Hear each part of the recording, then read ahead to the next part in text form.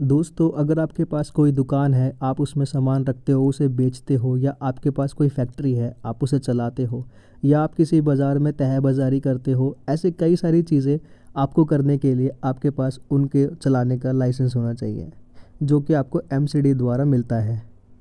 अगर आपके पास एमसीडी का वह लाइसेंस नहीं है तो एमसीडी वाले आपकी दुकान, फैक्ट्री आदि पर मोटा चालान काट सकते हैं और आपकी वो दुकान या फैक्ट्री सील भी कर सकते हैं। तो अगर आप इन सब चीज़ों से बचना चाहते हो तो आप तुरंत अपना एमसीडी का लाइसेंस बनवा लो, अगर आपने अभी तक नहीं बनवाया है।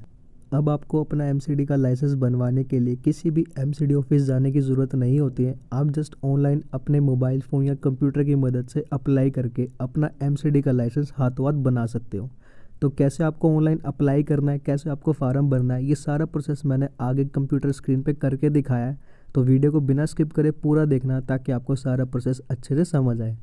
तो वीडियो की शुरुआत करने से पहले मैं कहना चाहूँगा चैनल पे अगर आप नए हो और अभी तक आपने सब्सक्राइब नहीं करा है तो सब्सक्राइब कर लो क्योंकि मैं ऐसी ही इन्फॉर्मेटिव वीडियोज़ अपलोड करता रहता हूँ।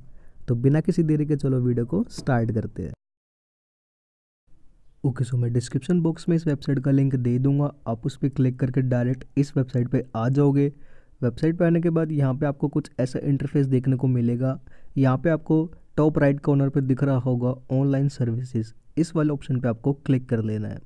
क्लिक करने के बाद यहाँ पे आपको तीन चीज़ें पूछी जाएँगी। इन तीनों में से आपको किसी एक को सिलेक्ट कर लेना है। अगर आपको अपना जोन पता है कि आपका एरिया किस जोन में आता है तो आप अपना जोन सेलेक्ट करोगे। अदरवाइज़ आप अपने वार्ड या कॉलोनी में जाके अपना एरिया का नाम सेलेक्ट करोगे और ऑटोमेटिक आपका जोन आ जाएगा। तो यहाँ पे देखो वार्ड के अंदर काफ़ी सारे एरिया हैं। जिस भी एरिया में आप रहते हो, वो सिलेक्ट कर लेना तो जोन ऑटोमेटिक सिलेक्ट कर लेगा। अदरवाइज़ आप कॉलोनी में जाओगे तो देखो यहाँ पे आपको हर एक एरिया के आगे उसका जोन भी लिखा हुआ मेंशन मिल जाएगा। तो ऐसे करके आप अपना जोन सेलेक्ट कर लोगे। तो मुझे जोन पता है तो मैं जोन सेलेक्ट करके सर्च वाले ऑप्शन पे क्लिक कर लूँगा। सर्च पे क्लिक करने के बाद यहाँ पे आपको नीचे ऑनलाइन सर्विसेज़ इस वाले ऑप्शन पे क्लिक कर लेना है। क्लिक करने के बाद यहाँ पे आपको वेबसाइट कुछ इस तरीके से दिखेगी। यहाँ पे आपको एक ऑप्शन मिल रहा होगा लाइन सेंसिंग इस वाले ऑप्शन पे आपको क्लिक कर लेना है। लाइसेंसिंग पे क्लिक करने के बाद यहाँ पे काफ़ी सारे ऑप्शंस आ जाएँगे। तो जिस भी चीज़ का आप लाइसेंस नया बनाना चाहते हो, वो ऑप्शन आपको सिलेक्ट करना है। तो हम यहाँ पे जनरल ट्रेड वाला बना रहे हैं तो मैं यहाँ पे जनरल ट्रेड वाले को सिलेक्ट कर लूँगा। ओके सो अब आपको यहाँ पे अपना मोबाइल नंबर रजिस्टर करना है। तो रजिस्टर करने के लिए आप new user click here for sign up इस ऑप्शन पे क्लिक करोगे। उसके बाद यहाँ पे एक छोटा सा फॉर्म आएगा, जहाँ पे आपको अपनी बेसिक डिटेल फिल करनी है। उसको फिल करके आपका नंबर रजिस्टर्ड हो जाएगा। अगर आपने ऑलरेडी रजिस्टर किया हुआ तो आप सीधा लॉगिन कर लोगे। तो मैंने ऑलरेडी रजिस्टर करा हुआ है तो मैं यहाँ पे सीधा मोबाइल नंबर डालूँगा। उसके बाद generate O T P click करूँगा। उसके बाद जो मेरा मोबाइल नंबर पे ओटीपी गया है वो यहाँ पे फिल करके लॉगिन पे क्लिक कर दूँगा। सो so, लॉगिन करने के बाद यहाँ पे आपको जनरल ट्रेड लाइसेंस इस वाले ऑप्शन पे क्लिक कर लेना है। क्लिक करने के बाद यहाँ पे आपको नीचे स्क्रॉल डाउन करना है। स्क्रॉल डाउन करने के बाद यहाँ पे दो ऑप्शन आएँगे। यहाँ पे हमें अप्लाई न्यू जीटी लाइसेंस इस पर क्लिक कर देना है। रिन्यूअल कैसे करते हैं? इसके ऊपर भी मैंने ऑलरेडी वीडियो बनाया हुआ है तो उसका लिंक भी डिस्क्रिप्शन में डाल दूँगा। आप वहाँ पे जाके चेक कर लेना। तो यहाँ पे क्लिक करने के बाद सबसे पहले हमसे एप्लीकेंट डिटेल्स पूछी जाएगी, जहाँ पे हमें एप्लीकेंट का नाम फादर या हस्बैंड नेम उनकी डेट ऑफ़ बर्थ और उनका एक फ़ोटोग्राफ अपलोड करना है। उसके बाद यहाँ पे एड्रेस फिल करना है। और उनका ईमेल आईडी और मोबाइल नंबर डालना है। तो ये कुछ बेसिक सी डिटेल है एप्लीकेंट की, वो हमें यहाँ पे फिल करनी है। एप्लीकेंट मतलब जो उस शॉप का ओनर है या फैक्ट्री का। तो मैं फटाफट से डिटेल फिल कर लेता हूँ। ओके, सो मैंने यहाँ पे सारी डिटेल्स फिल कर ली है। अब नीचे स्क्रोल डाउन करते हैं। स्क्रोल डाउन करने के बाद यहाँ पे हमें देखो पूछा गया है क्लासिफिकेशन ऑफ़ ट्रेड तो हम यहाँ पे जो सामान बेच रहे हैं, जिस चीज़ की ट्रेडिंग कर रहे हैं, किस जगह पे कर रहे हैं, वो कौन सी कैटेगरी में आता है, हमें ये बताना है।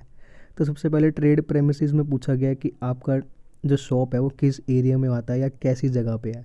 जैसे कि कमर्शियल एरियाज़ है या फिर D S I D C है या फिर आपका लोकल कमर्शियल है, जो भी है एक्स ये आपको अपने अकॉर्डिंग फिल करना है। फिर आपको नेक्स्ट पूछा ट्रेड डिस्क्रिप्शन इसके अंदर आपको बताना है कि आप किस चीज़ की ट्रेडिंग कर रहे हो, आप कौन सा सामान बेच रहे हो। तो यहाँ पे भी आपको अपने अकॉर्डिंग सामान सेलेक्ट कर लेना है और आपको यहाँ पे अपनी कैटेगरी फिल कर देनी है। तो यहाँ पे क्लासिफिकेशन ऑफ़ ट्रेड भर दिया। उसके बाद नेक्स्ट हमसे पूछा जाएगा ट्रेड प्रेमसाइज डिटेल्स यहाँ पे सबसे पहले हमें यूपिक नंबर डालना है। यूपिक नंबर क्या होता है और वो कैसे बनता है, इसके ऊपर मैंने ऑलरेडी एक वीडियो बनाया हुआ है, जिसका लिंक मैं डिस्क्रिप्शन बॉक्स में डाल दूँगा। आप उसको देख के अपना यूपिक नंबर बना लेना। जब आप यहाँ पे अपना यूपिक नंबर डालोगे तो ऑटोमेटिक यूपिक एड्रेस वाले कॉलम में वो एड्रेस आ जाएगा, जो आपने अपना यूपिक नंबर बनाते टाइम डाला होगा। फिर आपको यहाँ पे फ्लोर सेलेक्ट करना है। किस फ्लोर पे आपकी शॉप है? अगर आपके पास एक से ज़्यादा फ्लोर है तो आप यहाँ पे ऐड पे क्लिक करके दूसरा फ्लोर फिल कर लोगे। फिर नेक्स्ट हमसे पूछा use area in square metre तो जितना एरिया आपकी शॉप का है स्क्वायर मीटर में आपको वो फिल करना है। उसके बाद ओनरशिप टाइप डालना है, वो भी आप अपने अकॉर्डिंग सेलेक्ट करोगे। फिर उसके बाद स्ट्रक्चर प्रोटेक्टेड का पूछा गया, ये भी अपने अकॉर्डिंग यस या नो करोगे। प्रॉपर टैक्स पेड है या नहीं, ये भी आपको अपने अकॉर्डिंग यस या नो करना है। कन्वर्जन चार्जेस का भी आपको अपने अकॉर्डिंग यस या नो कर लेना है।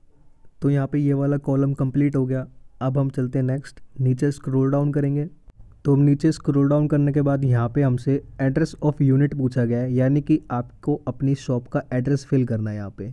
तो यहाँ पे आपको पूरा एड्रेस फिल कर लेना है। उसके बाद लास्ट में जहाँ पे लिखा हुआ है इलेक्ट्रिक कनेक्शन नंबर वहाँ पे आपको अपना इलेक्ट्रिक कनेक्शन नंबर फिल करना है। तो अब हमने यहाँ पे एड्रेस ऑफ़ यूनिट फिल कर लिया है। अब नीचे स्क्रोल डाउन करते हैं।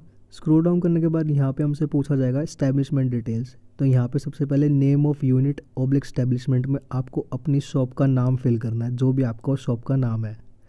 उसके बाद ईयर ऑफ़ स्टैब्लिशमेंट में आपको जब से आपने अपनी शॉप ओपन करी है, वो फिल कर देना है। जीएसटी नंबर और पैन कार्ड ये ऑप्शनल है, अगर आप फिल करना चाहो तो कर सकते हो अदरवाइज़ आप इसे खाली भी छोड़ सकते हो।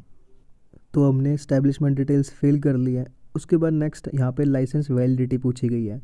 तो यहाँ पे आप अपने अकॉर्डिंग जितने भी साल के लिए आप अपना लाइसेंस बनाना चाहते हो, वो सिलेक्ट कर सकते हो। तो ये भी अपने अकॉर्डिंग कर लेना। नेक्स्ट अब टाइप ऑफ़ कंस्टिट्यूशन पूछा गया है। तो यहाँ पे आपको सबसे पहले टाइप ऑफ़ कंस्टिट्यूशन में सिलेक्ट करना है कि क्या चीज़ है पार्टनरशिप है या प्रोपरेटरशिप है। ये भी अपने अकॉर्डिंग सेलेक्ट करोगे आप। फिर उसके बाद relationship of applicant with company यानी कि क्या रिलेशन है एप्लीकेंट का तो ये भी आपको अपने अकॉर्डिंग सेलेक्ट करना है। अगर पार्टनर्स हैं और एक से ज़्यादा तो यहाँ पे आप उनके नाम डाल के ऐड भी कर सकते हो। तो अब नीचे स्क्रोल डाउन करते हैं। स्क्रोल डाउन करने के बाद यहाँ पे हमें सबसे पहले आईडी प्रूफ अपलोड करना है एप्लीकेंट का। उसके बाद नेक्स्ट कॉलम में आपको फ़ोटोग्राफ अपलोड करनी है आपके शॉप की, जिसमें कि आपको एक फ्रंट की फ़ोटो खींचनी है अपनी शॉप की। उसके बाद एक अंदर से फ़ोटो खींचनी है जहाँ पे आप जो सामान ट्रेड कर रहे हो, वो चीज़ें आए उसमें। तो आपको एक फ्रंट से और एक अंदर से ये दोनों फ़ोटो खींच के यहाँ पे अपलोड करनी है। फिर थर्ड वाले ऑप्शन में आपको प्रूफ ऑफ़ ऑक्यूपेंसी अपलोड करना है, यानी कि वो दुकान आपकी खुद की है या आपने रेंट पे लिया है, उस चीज़ का आपको अपलोड करना है प्रूफ अगर अपनी है तो यहाँ पे आप अपना प्रॉपर्टी के पेपर डाल सकते हो या अपने नाम का इलेक्ट्रिसिटी बिल डाल सकते हो, और अगर किराए पे है तो आप यहाँ पे रेंट एग्रीमेंट भी अपलोड कर सकते हो। तो डॉक्यूमेंट्स मैंने अपलोड कर लिए अब यहाँ पे नीचे स्क्रोल डाउन करते हैं। स्क्रोल डाउन करने के बाद यहाँ पे आपको सेल्फ डिक्लेरेशन ऑब्लिक अंडरटेकिंग दी हुई है, अपने यहाँ पे लास्ट में सेव एज ड्राफ्ट इस वाले ऑप्शन पे क्लिक कर लेना है। ये मैं क्लिक करने के लिए इसलिए बोल रहा हूँ क्योंकि जब मैं ये फॉर्म फिल कर रहा था तो यहाँ पे वेबसाइट बहुत स्लो थी तो जब भी मैं यहाँ पे सबमिट पे क्लिक कर रहा था तो मेरा सारा डेटा जो भी मैंने फिल करा है वो इरेज हो जाता था।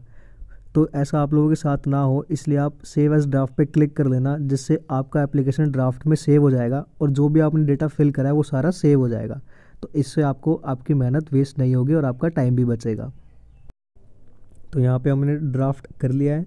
अब यहाँ पे आपको नीचे स्लाइड करना है स्लाइड राइट जब आप स्लाइड राइट करोगे, उसके बाद आपको एक्शंस वाले ऑप्शन पे क्लिक करना है। इसके बाद यहाँ पे आपको एडिट फॉर्म पे क्लिक कर देना है। क्लिक करने के बाद यहाँ पे आपका जो भी आपने फॉर्म भरा है, वो सारा खुल जाएगा। यहाँ पे आपको अपनी सारी डिटेल्स जो आपने फिल करी है, नाम वगैरह address phone number mail ID सब कुछ आपको अच्छे से ध्यान से चेक कर लेना है।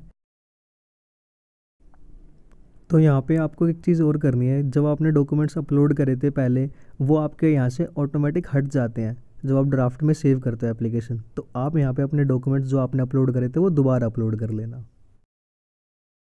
ओके तो हमने अपलोड कर लिए, अब नीचे चलते हैं, यहाँ पे डिक्लेरेशन पे क्लिक करके सबमिट पे क्लिक कर देंगे। तो यहाँ पे वेबसाइट ऐसा कुछ हो सकता है एरर आ जाए तो आप यहाँ पे सिंपली रिफ़्रेश कर लेना।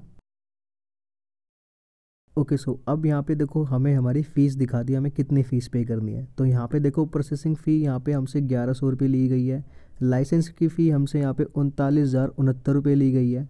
ऑनलाइन पेमेंट का चार्ज एक सौ पाँच रुपये लिया है और नेट फ़ी जो हमारी बनी है, वो बनी है पाँच हज़ार एक सौ सत्तर रुपये की। तो अब हम यहाँ पे इस फ़ी को पे कर लेते हैं। तो पे ऑनलाइन इस वाले ऑप्शन पे क्लिक करेंगे।